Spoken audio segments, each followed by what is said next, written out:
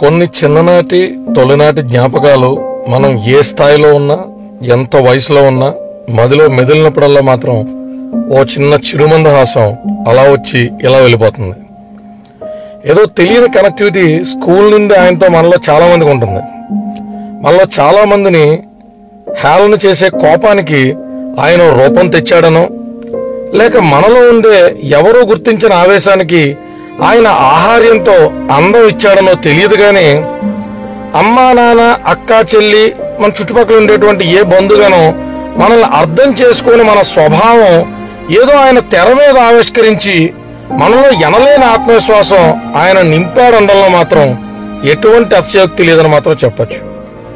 Cinema తారం చూస్తే ఒళ్ళు మైమర్చిపోవడం సహజమే కానీ ఓ సినిమా తారం చూసి ఒళ్ళు ఉంచి సమాజం కోసం పనిచేయాలనే భావన బలంగా కలగడం మాత్రం కాస్త అసహజం అనే చెప్పాలి. ఆఖరిగా ఒక్క మాట ఏంటంటే ఫ్లాపులతో సంబంధం లేకుండా తెర మీద పదే పదే చూసే అభిమాన గణం ఆయనకే సొంతం. గెలుపులతో సంబంధం లేకుండా ఆయన వెంట నడిచే జనసైన్యం కూడా ఆయనకే సొంతం. ఆయన వేసుకున్న ఖుషీ బ్యాగ్ కొనుక్కున్నాం ఆయన వాడిన బద్రీ షూస్ వేసుకున్నాం ఆయన వేసుకున్న బాలు ప్యాంట్ కూడా వేసుకున్నాం.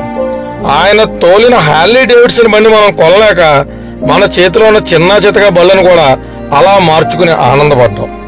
ఎవరినైనా బాహాటంగా అనుకరించాలి అంటే సిగ్గుపడేటువంటి జనం ఆయన్ని మాత్రం అనుకరిస్తే అదేదో గొప్పగా చూపించుకునేటువంటి తత్వం మాత్రం ఉందని చెప్పడంలో మాత్రం ఆశ్చర్యం లేదు.